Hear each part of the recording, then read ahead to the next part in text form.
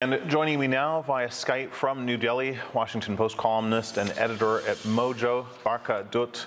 Um, sadly, you've been uh, personally through many of the experiences uh, like the ones we just described, including the death of a loved one. So to start, uh, I'd like to say just how sorry I am, how sorry we all are uh, about the death of your father who died of COVID just a few days ago.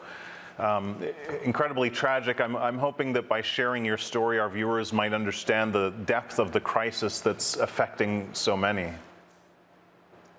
Thank you, Kim. Uh, it isn't an easy time uh, for me to speak, but the reason that I do and the reason that I do share my personal story uh, is is is because as a journalist, as a frontline reporter on the COVID story, I've been talking to literally thousands and thousands of Indians who've been devastated by the second wave.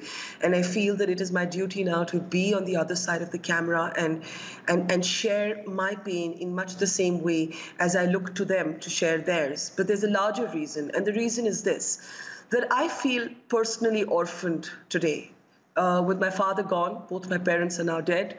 Uh, I have nobody left, I feel alone. But what about those who are the orphans of the Indian state? I think of them today as I think of my father, because my father's last words to me were, I'm choking, please give me treatment. And I tried my best, but even being a journalist who knows doctors, an upper middle class Indian who can pay for the best private medical treatment, the ambulance, the private ambulance that ferried him to hospital, had an oxygen cylinder that did not work. It got delayed because there's no green corridor for ambulances in this city, in the capital, even now. By the time we reached the hospital, because the oxygen had failed or faltered, his levels had fallen precipitously. He had to be taken into ICU. He never made it back. It's not even been a few days. It's not even been 48 hours. When we went to cremate him, there was no space at the cremation ground. There was a physical fight that erupted between multiple families. We had to call the police to cremate my father. And yet, in this moment of loss, though it's difficult to even articulate and put together a bunch of sentences, I speak because I realize that despite my devastation, I was luckier than most Indians. And I was luckier than most Indians because, as I said, I think today of the orphans of the Indian state, the families that I meet outside hospitals that have shut their gates and their doors to them because they neither have beds nor oxygen. I think of the families that I meet at cremation grounds where bodies have been lying on the floor. And one man, the brother of somebody who had died, said to me, in Hindi. We are now Bhagwan Bharose. Translated in English, it means we've been left to be in God's hands. There's nobody to talk to us. And that is what pains me enormously that even with our death figures reaching 3,700 almost, and by the way, I've been doing a chronicling of multiple cremation grounds across India, and I can tell you that the actual numbers are much higher than the official data is being reported. Even with this, our health minister has the audacity to say that India is better placed to fight corona than it was in 2020 even with what's happening, we're obsessing about elections and giant rallies.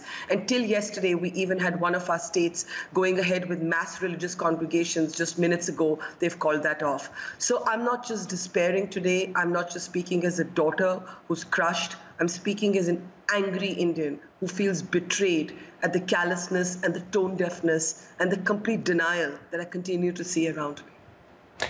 Well, I mean, that's just it. Uh, you, you know, you tweeted that um, you failed your father, but I, I, would argue from what you just said, uh, it was the healthcare system that, that failed him and, and millions of others in India. You know, what I want to say is that the healthcare system has clearly collapsed, but the failure has not been that of the doctors or of the hospitals or of the frontline workers. They've done their best. We have been failed by policymakers, by politicians. We've been failed by the government that did not think to put in place a contingency plan for the second wave, that dismantled the jumbo COVID hospitals that had been created last year in the belief that we had beaten the first wave. We have been failed by policymakers that allowed vaccines to go out of India before our own could be vaccinated. My father had had one jab. I keep thinking, you know, if the vaccines had started earlier and he'd got his second injection, maybe he'd still be alive today. We don't know, but maybe he'd still have had a fighting chance. We've been failed by those who allowed those election rallies to take place, those religious congregations to take place, who even today do not want to acknowledge the enormity of what's happening. And the fact is that we're making families sign consent forms before they go into hospitals saying if somebody dies from the lack of oxygen, it will not be the liability of the hospital. So whose liability will be? Are heads going to roll? Is anyone going to take accountability for the thousands that are dying? And many, Kim, I want to remind you, are dying uncounted. Doctors and experts have told me that they believe that the data is seriously skewed, manipulated, and underreported. And the official data is this bad. Just imagine, just imagine how bad things really are.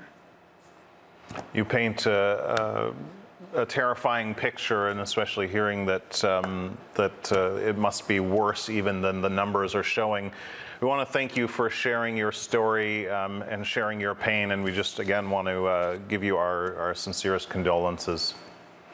Thank you. Thank you All for right. having me. That was uh, Barkha Dutt. Thank you very much for joining us.